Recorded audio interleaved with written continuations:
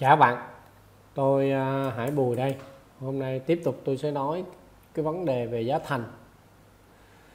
Thì các bạn làm kế toán tại công ty mà tính giá thành á, cái vấn đề mà các bạn quyết định cái đối tượng tính giá thành á, nó rất là quan trọng.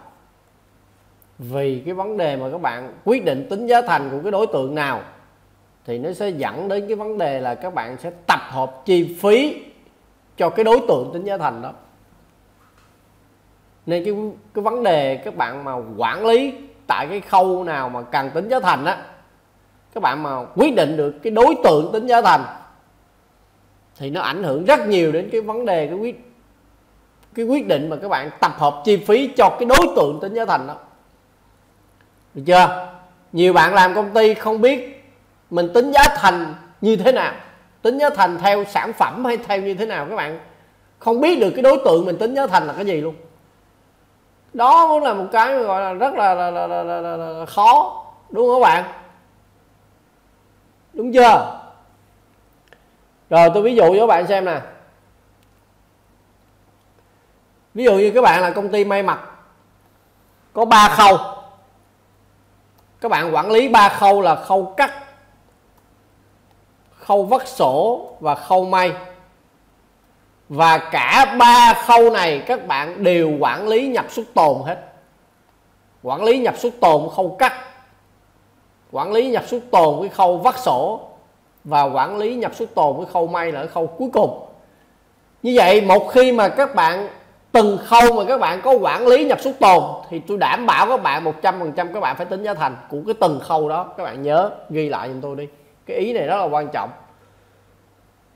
Công ty của mình mà sản xuất một cái sản phẩm nào đó, mà tại cái công đoạn đó, tại cái khâu đó các bạn có theo dõi nhập xuất tồn, thì 100% các bạn phải tính giá thành tại cái khâu đó cho tôi. Được chưa bạn?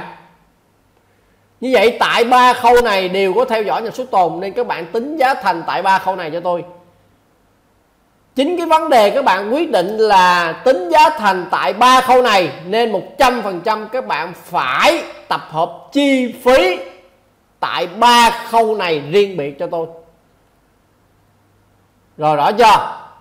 Các bạn tính giá thành tại khâu cắt thì các bạn phải có 621 622 627 tại khâu cắt. Cái đó là tư duy nó phải là như vậy. Các bạn tính giá thành tại khâu vắt sổ thì 100% các bạn phải tập hợp được 621, 622, 627 tại, tại khâu phát sổ.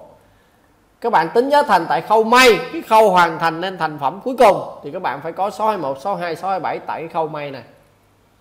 Rồi, như vậy các bạn phân biệt được cái đối tượng tính giá thành và cái đối tượng tập hợp chi phí chưa? Được chưa các bạn? Cái vấn đề mà các bạn quyết định cái đối tượng nào mà tính giá thành cái đối tượng nào trong công ty của mình phải tính giá thành? Thì lúc đó các bạn mới nghĩ tới cái vấn đề là mình tập hợp chi phí làm sao cho cái đối tượng tính giá thành đó. Rồi rõ chưa? Và tôi lưu ý cho các bạn một vấn đề này rất là quan trọng. Công ty của các bạn có những cái giai đoạn nào, có những khâu nào, có những phân xưởng nào mà khi mà làm ra một cái sản phẩm rồi đó, gọi là sản phẩm hay bán thành phẩm nói chung là làm ra tại cái khâu đó, tại cái phân xưởng đó, tại cái giai đoạn đó. Mà các bạn có theo dõi nhập xuất tồn tại cái khâu đó, tại cái phân xưởng đó, tại cái giai đoạn đó thì 100% các bạn phải tính giá thành tại cái khâu đó. Rồi được chưa? Rồi hy vọng video này sẽ giúp cho các bạn có một cái tư duy là khi nào thì chúng ta tính giá thành và chúng ta xác định cái đối tượng tính giá thành nó như thế nào các bạn thấy video này hay hữu ích cho tôi lượt like comment share về tường facebook cá nhân cho nhiều bạn cùng xem. Muốn học hỏi tôi thì các bạn lên kênh youtube gõ từ khóa từ học kế toán tấn hải bùi bấm vào đây. Và bấm vào video này.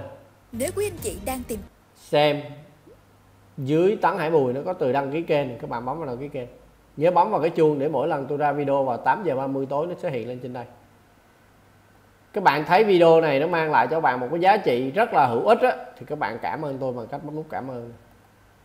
Mua những cái số tiền cụ thể trên này. Rồi các bạn muốn theo dõi muốn mua sách tham khảo thì vào trang sách kế toán.org này đó nó có rất là nhiều loại sách ở đây. Đó các bạn có thể mua và tham khảo. Rồi cảm ơn các bạn. Hẹn các bạn trong những video tiếp theo.